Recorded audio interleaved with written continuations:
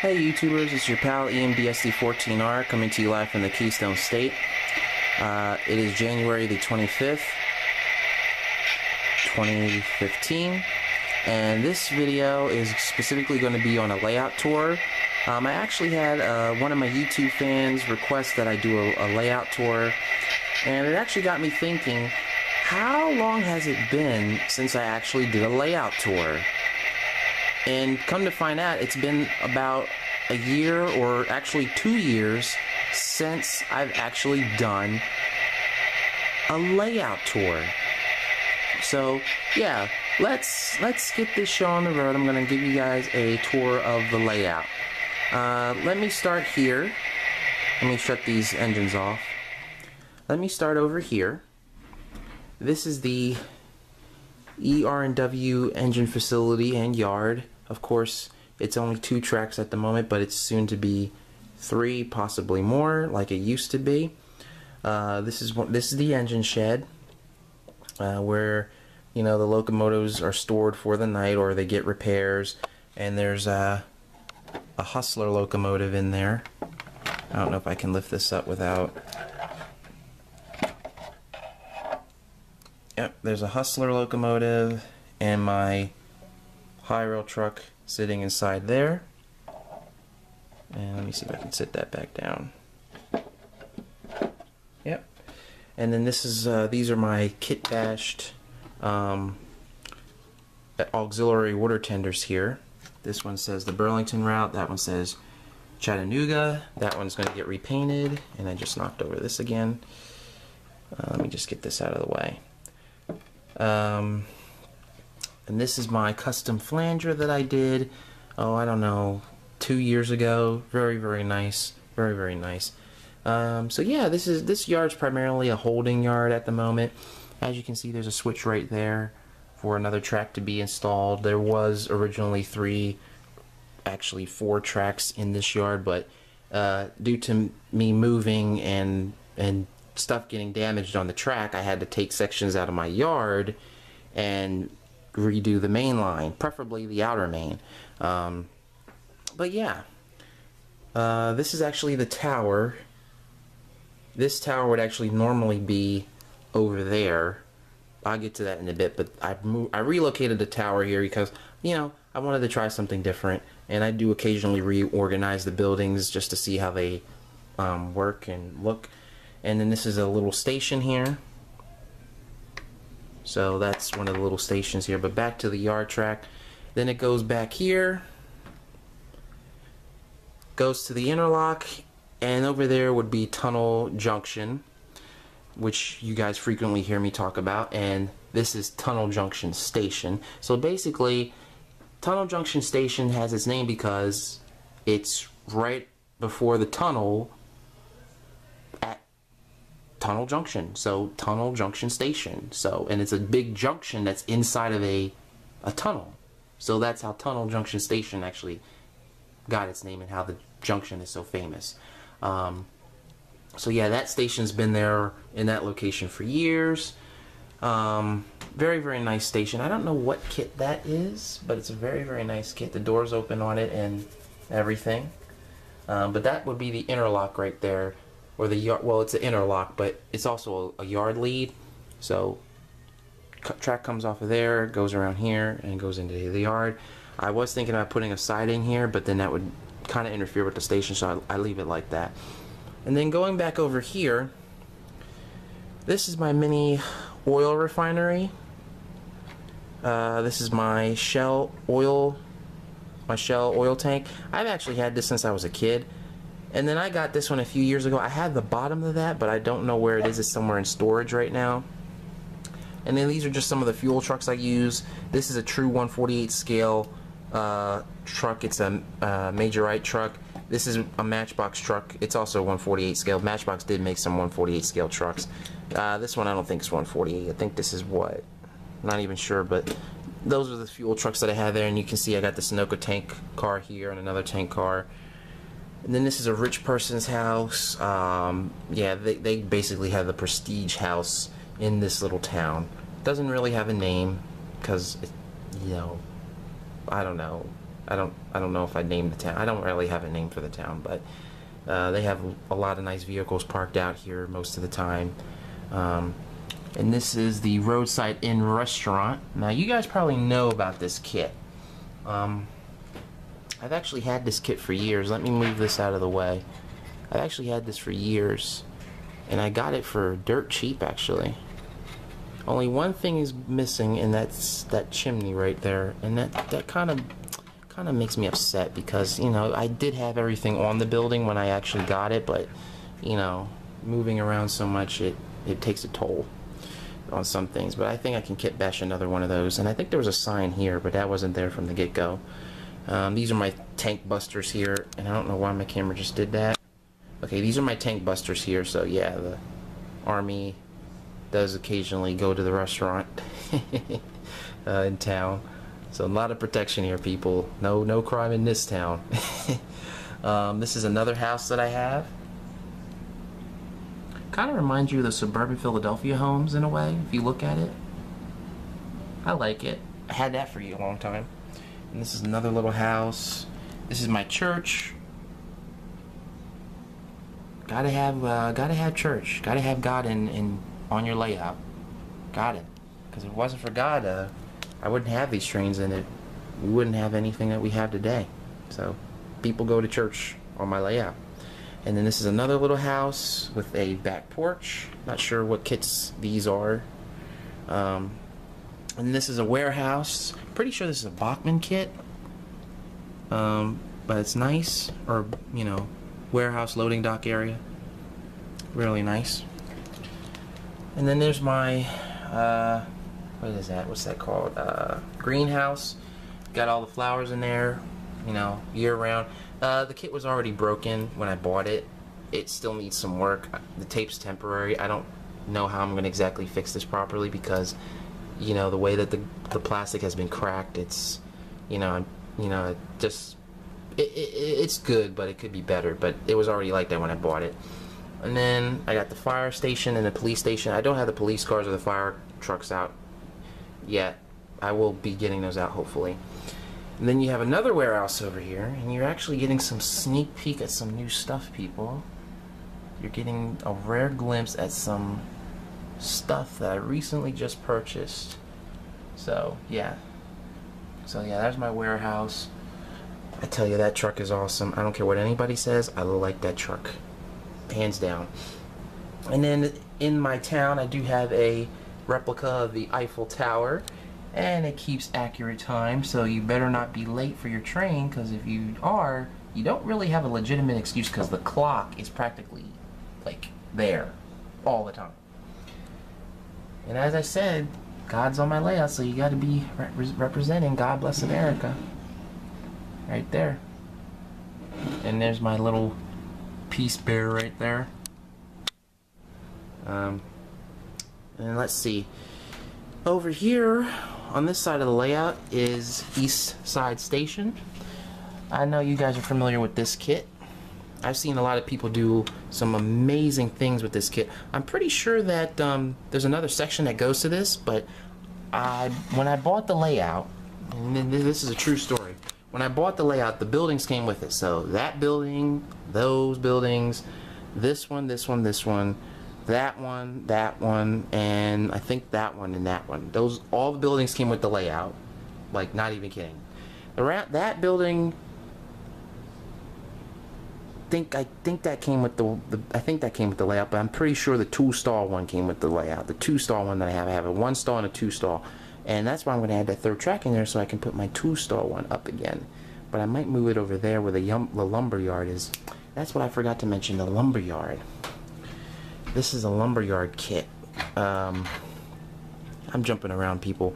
But the cool thing about it is you can actually put a motor in here and the little water wheel which I might add actually turns.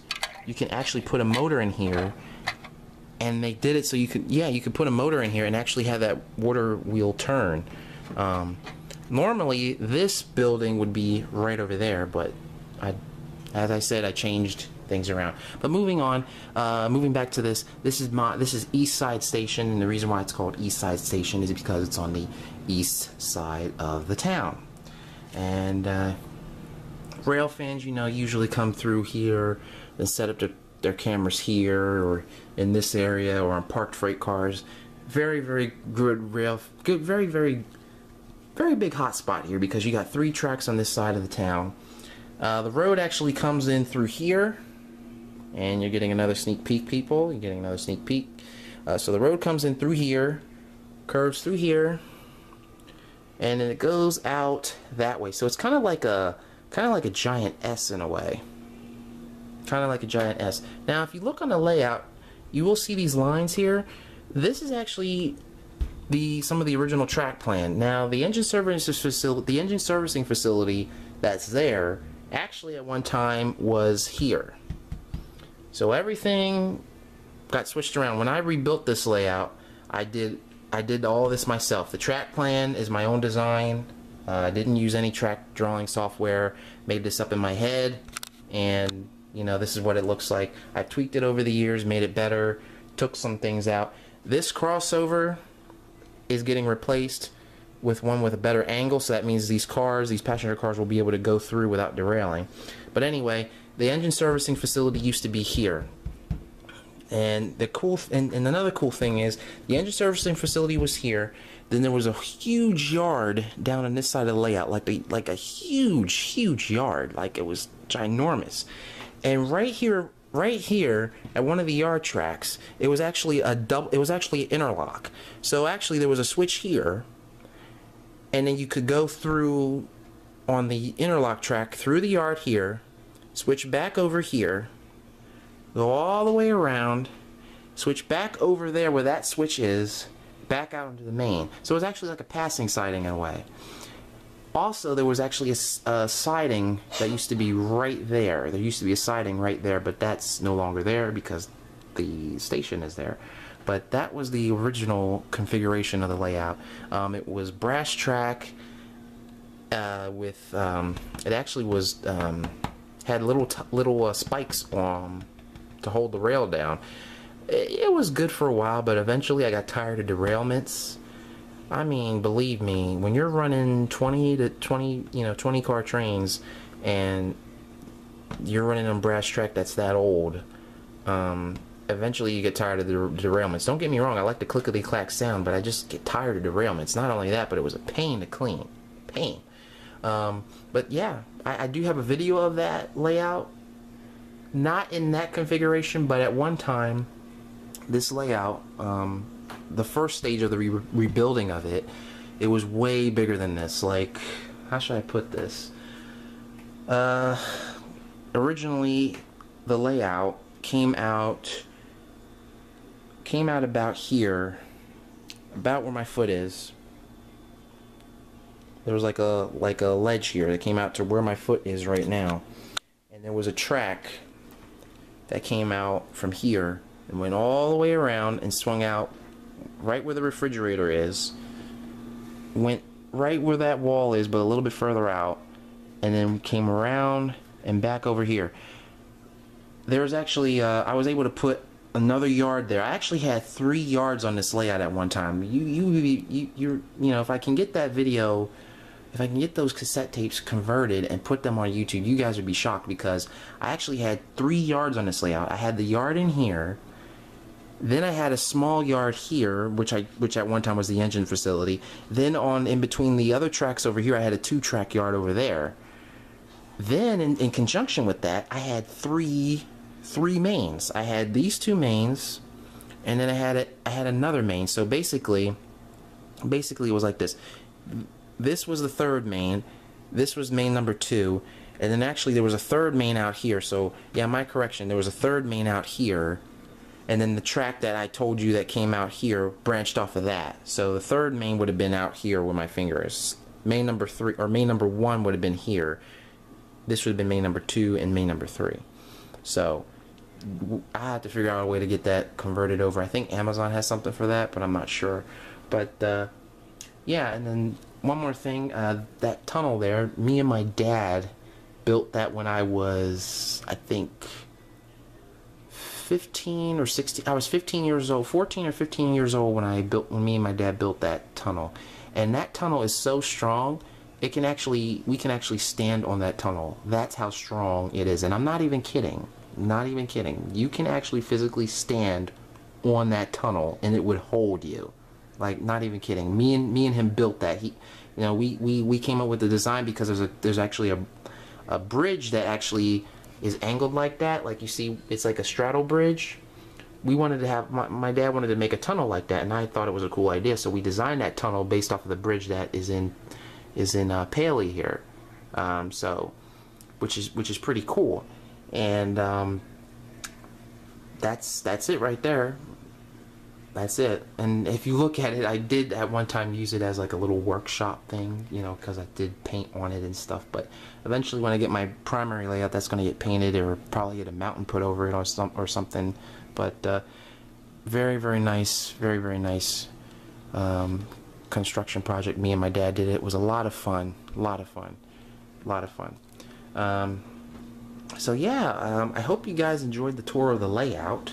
Um, if you have any questions about it, uh, by the way, this is a four by eight. I, this is a four by eight, by the way. Um, but if you have any questions about it, uh, please let me know. Um, I hope you guys enjoyed this tour. Uh, you're probably wondering why there's no scenery on this layout. Um, I, I, since this layout has been moved around so much, it's not really worth me putting time and money into putting scenery on it because if I have to take it down again to put it in storage or, or whatever I have to do, it would be a pain to remove the scenery or if it gets damaged to, to redo the entire scenery. So this technically won't get any scenery. This is going to be my test layout because my actual layout, which I'm which I already practically know what it's going to look like, is going to have the scenery on it.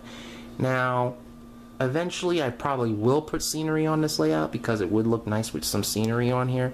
Um, I did a, I did a, at one time have little trees on it, like, but they were in like wooden stands that I just could sit on the layout, and I did have some light posts and street lamps and stuff like that that were battery powered on the layout. But that was a long time ago. Um, but you know, you guys, you guys, you know, requested this, uh, and you obviously like my layout, and I'm glad that you guys do. It's an honor to be able to give you a tour of this layout. Um, I, I wish I'd done one sooner, but one one YouTuber, one fan, he actually got me off my behind, and you know I got off my behind and I did it. So uh, thank you, thank you. And your name will be at the bottom of the screen.